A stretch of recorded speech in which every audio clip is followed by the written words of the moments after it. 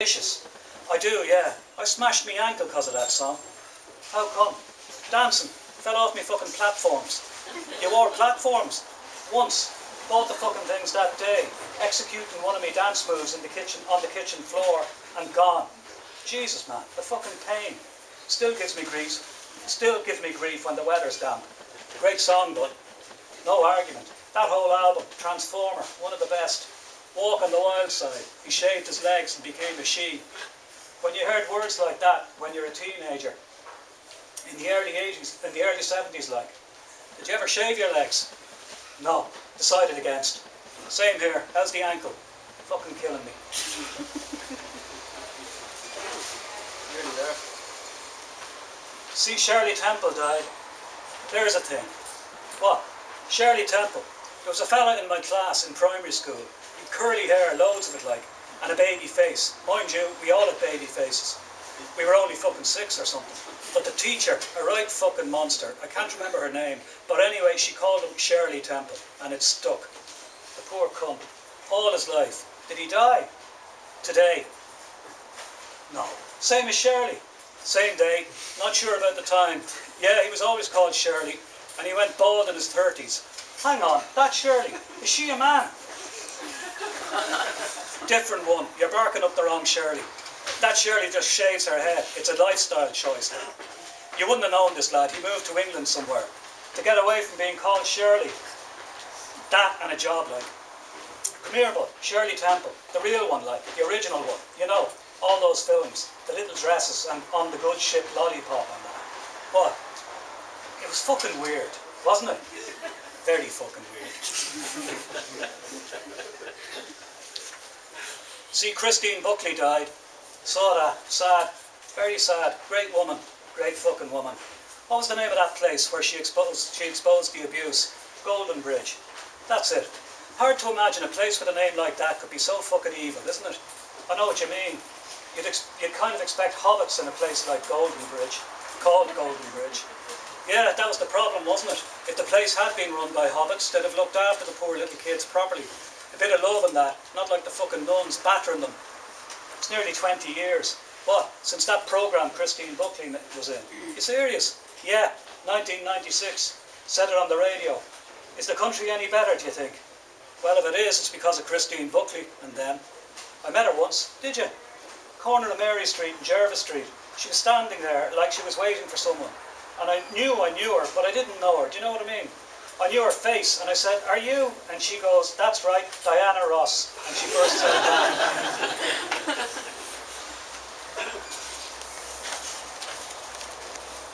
See, Bob Hoskins is after time. Sad that. Hadn't seen him in anything for a while. He mustn't have been well. No, he was one of the lads, wasn't he? Brilliant. Just his face, his expressions, you know. Fabulous. From the very beginning. Fucking way back. Pennies from Heaven. Do you remember that one? I do, yeah. Brilliant. Your one Gemma Craven was in it as well. I used to like her. She was Irish, wasn't she? We won't hold that against her. Mona Lisa. There's no way she was fucking Irish. The film, yeah, yeah, brilliant. I didn't like Roger Rabbit. No, I know what you mean. He was an irritating cunt. Hos- but Hoskins was good. Can't think of a bad one he was in. Because he was in them. Probably, yeah, good point. The best book, The Long Good Friday. Ah, Jesus, magnificent. Do you remember the end, in the car, when he knows he's fucked? His face, yeah, brilliant. He was frightened, grand, but he looked nearly happy as well, impressed that they'd snared him. Do you think he looked like that uh, this time, when he knew he was dying? Yeah, I hope so. Me too.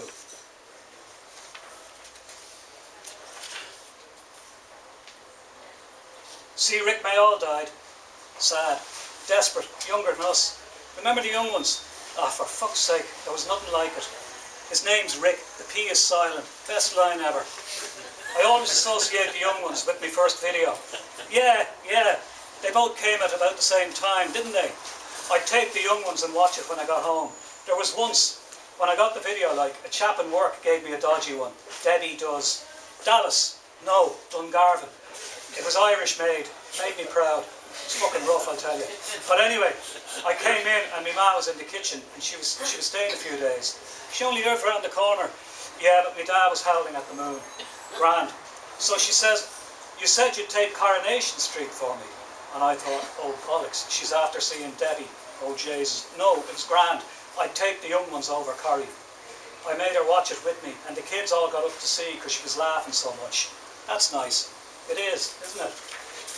And um, this is the encore. Two more recent ones that make it into the book.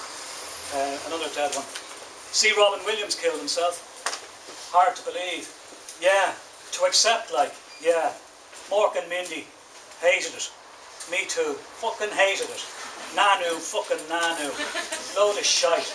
Of course, we didn't know he was a comedian. Not back then, no, no, no videos or internet. We'd no idea he was fucking brilliant.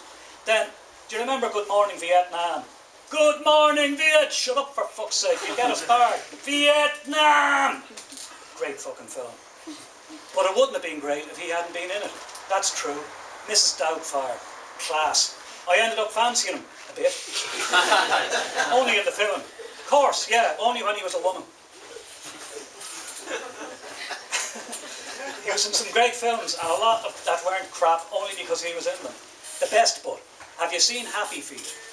Ah, Jesus. Lovelace. No, the other one. He played two different penguins. Ramon. Let me tell something to you. Brilliant. Let me tell something to you. You nearly have him. I watch it with the grandkids. Jesus, once a week. All that happiness. But he didn't want to live anymore. Let me tell something to you. and the last one. You're looking a bit pale. The fucking ice bucket challenge. what? One of the grandkids challenges me. Grand. So I go out, I'm nearly mixed up there. So I go out the back and wait for me drenching. But you know, those freezer bags with for ice cubes. Yep, they dropped six of those, rock fucking solid like, from an upstairs window. Right onto my fucking head. I'm out cold. Jesus. They get me into the van, straight up to Beaumont. I wake up when they knock me head off the path outside of A&E. And inside, it's the fucking Alamo, full of ice bucket casualties. There's a cunt with his head stuck in a bucket. There's 13 women who have had heart attacks. There's a kid who's allergic to water. The fucking state them. There's a lad who's attempted suicide because no one challenged him and he feels left out. fucking hell. So I'm sitting there, groggy like, and this sham asks if he can go ahead of me. He's after cutting four of his fingers off. He holds up a spar bag, full of fingers like.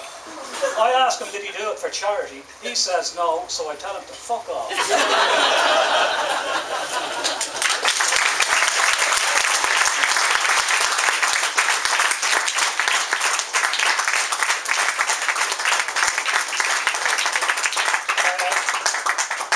happy to answer questions that you might have until you're told to stop. Yeah.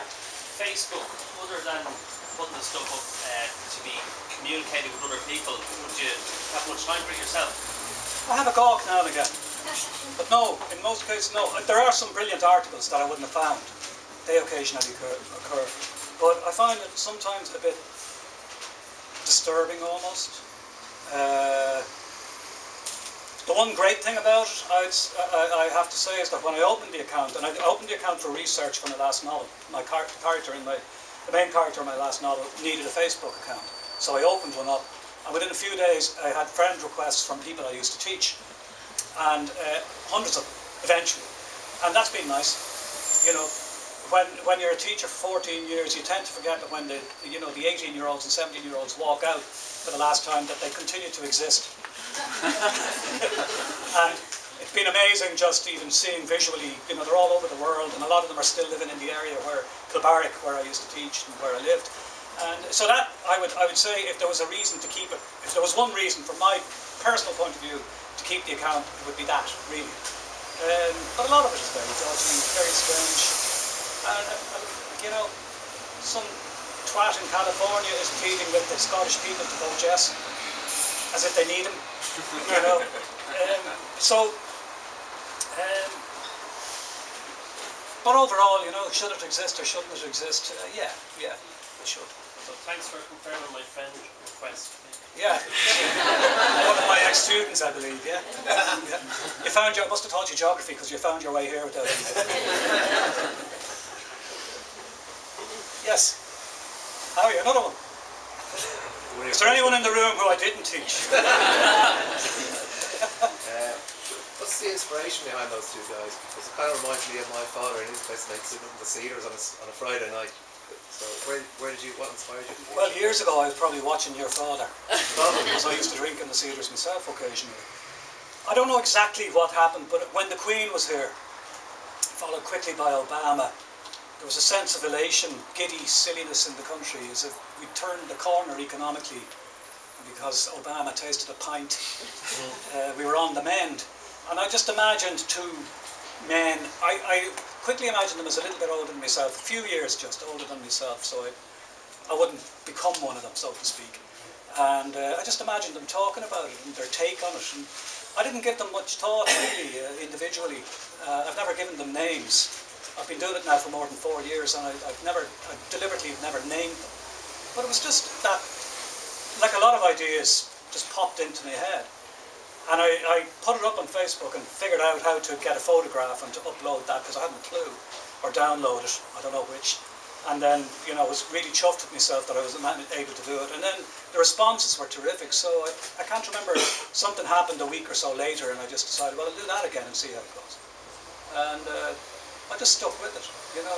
I enjoy it, you know, it's, uh, it's, it's um, if I have a full day working at home, I tend to divide my day into different projects anyway. I couldn't, unless there's a mad rush to finish something, I wouldn't be able to concentrate on writing a novel or a short story. So uh, I'm able to do this and just, you know, stick it up there immediately. And it's a good, um, I, I, I, very early on I said I won't go past 200 words. It'll always be 200 words. So that in itself is a good exercise, you know, it's a good reminder. So a first draft might be 310 words and I'll spend 10 minutes maybe cutting it down to the 200. But I won't allow myself put it up unless it's 200. And uh, if I was ever teaching, you know, creative writing, that might be something I would do because I think it's quite a good skill. So uh, I just enjoyed it really. And gradually they kind of, I don't know if they've grown actually. I think they're more or less exactly as they were the first one, you know. And they have countless children and grandchildren. One of them has met his wife at most at gigs. Most of the people who die, the rock stars who die, he's been at their gigs and he met his wife at those gigs. I think he's met her at at least five different gigs, you know. And so there's an inconsistency to it, but I like that as well. I, I kind of imagine them living in their own little universe, and actually, it may not really be on Earth at all. Why didn't you give them names? Why deliberately? Well, at first it was an accident. I never got round to it. But then I deliberately didn't because I wasn't. I didn't want to be too precise about them. I didn't want them to suddenly live in a definite house or be a definite age and restrict them to five kids and seven grandkids or something like that. So I just deliberately left it uh, man one, man two, really. And I've never done that before because I've really named characters. Just for the heck of it, I'd, I'd normally name characters immediately, even temporarily. I'll give them a name because it seems to give them flesh, so to speak. But I deliberately went against that this time round. Again, I didn't feel I was. Uh, at first, I didn't. I didn't. I had no idea it would end up in, in the covers of the book. So I just thought, seeing as it's all dialogue, uh, I thought this particular dialogue, it'd be a shame if I called one of them Ben, for example. You know, just put in Ben now and again. I think it would probably lessen it somehow. I'm not sure. Yeah. Are you going to have a chat about the Roy Keane book Not really. in the next month or so? Oh, it's out on the 9th of October, so yeah, there'll be, I'm sure there'll be lots of chatting when it comes out. But I don't feel a burning need to chat about it just yet. What, are- what are they going to have a chat about? Who? The two guys from Oh, there, you know, probably not. Probably be wise not. but then wisdom and myself don't always go hand in hand. So, but no, I wouldn't imagine so. Unless something happens, you know, something. You never know what's, you know, you never, you can never know what's going to happen. So, but no, it wouldn't be a plan. You know, no, maybe no. Are the two guys here now? Sorry, Are the two guys here now? the, So they, the room. yeah, Only as far as I'm here, yeah. and I am. I mean, they will. There will be something on Facebook tomorrow or the next About day this? about this. no. Okay. No, no, no. No. Sorry. Uh, you reference a lot of radio in your stories there. Yeah. And when you're at home all day, or wh- where are you getting ideas from radio? Are you listening to radio? Or Well, I listen to the radio in the morning or- and in the evenings, and sometimes I time, uh, if I'm hungry and I go down for lunch, I have to make a cup of coffee, I time it so I'll hear 10 minutes of Joe Duffy, see what the country's outraged about. Uh, but I don't listen to radio while I'm working, no, getting away, I can't, I wouldn't, wouldn't be able to concentrate.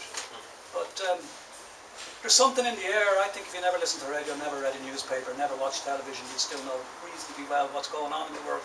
I don't know how. But um, I remember when I was a teacher, I knew exactly what was going on in, uh, it wasn't Home and Away, what was the other one? Neighbours. I knew what was happening in Neighbours, I knew the names of all the characters, but I'd never actually seen it. yeah. Are you going to keep um, writing them? Is it like a habit that helps you write other things now? Or No, no, I, I'll keep writing them as long as I enjoy it. Uh, there was a phase, I, there was a phase earlier in the year where I stopped because I wasn't enjoying it, and then something happened, and I, ah, I'll do that. And I, now and again, I started getting messages on Facebook saying, "Why didn't you do one about this? You know, why aren't they talking about, you know, it was some political issue?" And I thought, well, people are going to start, you know, demanding that I write about this, I think I'll just pull the plug. But uh, no, then I copped on and realised, no, it's mine to do with that I will. So I'll do it as long as I enjoy it. But I'd imagine, like most things that you have, you know, the, the one about the Facebook challenge, that's not the last one, but I think it was one of the last ones I did, and it had oh, twice as many likes as any previous one. I don't know, I, I wouldn't measure the world in likes, because if you put up the word Syria, hundreds of people will just, oh, like, without even knowing what it's, you know, do we like Syria as it is, or do we want Syria, Syria somehow different?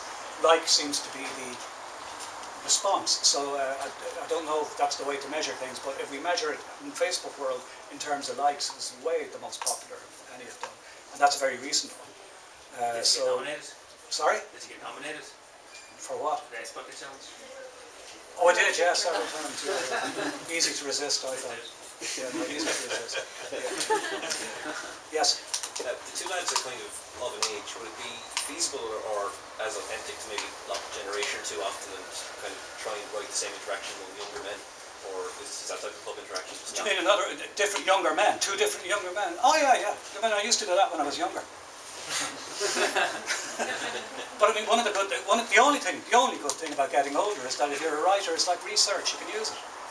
So, um, if I made them 30 something, I'd probably have a better stab if they were teenagers or in their 20s, but if they're 30 something or 40 something, I'm in a foreign world, I haven't a clue. I really haven't a clue. And not only that, I'm not really interested. I'm quite content enough, barring the fact that I'd be dead before you, probably. Um, I'm quite content at my own age. And so uh, the men aren't me, but very sometimes the angle they look at the world is the angle of a man, of, of, I, I suspect, of my age and people I know. So, um, no, I wouldn't be tempted to make them younger. That'd be somebody else's job, you know. But, but I'm just happy enough with them as they are. And I suspect if, if I was still doing it years down the line, I suspect they'd probably be roughly the same age. You know, I think I'll probably keep them at about the same age. Yes. Is it all spontaneous? Do you run it by? Do you run all these by your wife or No. somebody else? It's, a, it's No, no, I just no, do it. Straight. Yeah, quite often I'll have written it um, if I'm walking somewhere. I'm involved in a, a centre, a writing centre for children called Fighting Words. It's about a 40 minute walk from my house. And if I'm walking home and I've decided I'll do one, I'll often have it composed in my head when I get home. And I'll type it out then, and it might be, it's usually a bit long, and I'll trim it and then post it. But no, I've never run it past anybody. No, I think again that would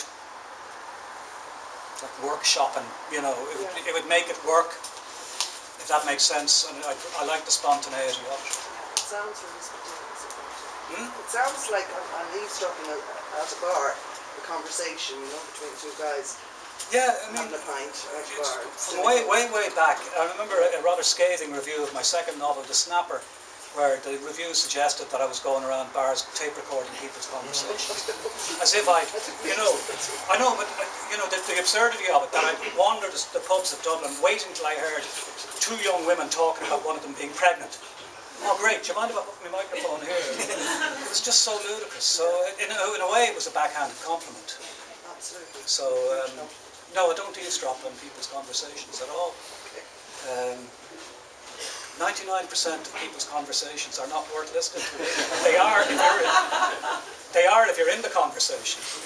You know, I'm going to meet friends tonight, and there'll be nothing going around that will be of any interest, but we will be endlessly fascinating. Any more? Last chance. Okay, that's. Thank you very much.